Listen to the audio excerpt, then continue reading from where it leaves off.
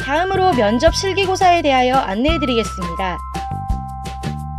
면접 활용 자료로는 입학원서와 학교생활 기록부 등이 있으며 발전 가능성과 자기 주도성, 도덕성, 사회성 등 다양한 분야의 평가를 진행합니다.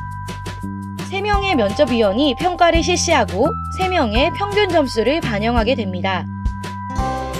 면접고사 예시문항으로는 자신의 장점은 무엇이고 그것을 극대화하기 위해 어떤 노력을 했는지 말해보시오. 고등학교 생활을 통하여 접해본 친구 중 좋은 친구 한 명을 들고 어떤 점이 좋았는지 그 이유를 말해보시오.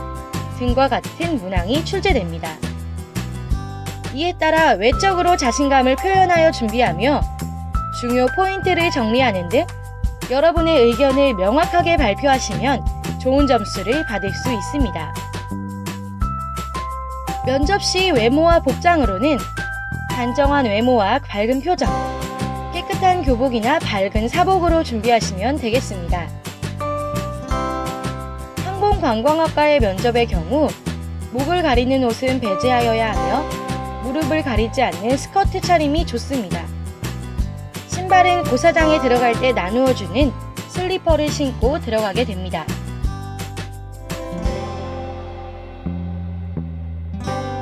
실기고사에 대한 안내입니다.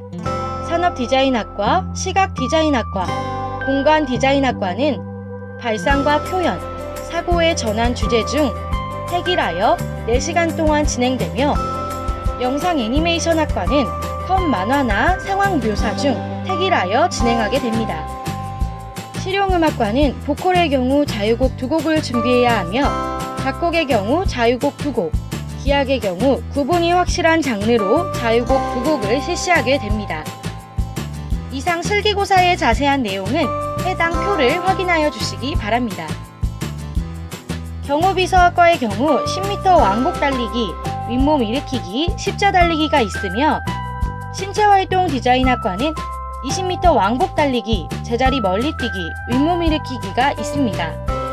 마지막으로 해양스포츠학과는 20m 왕복 달리기, 눈 감고 외발서기, 윗몸 앞으로 굽히기로 실기를 봅니다.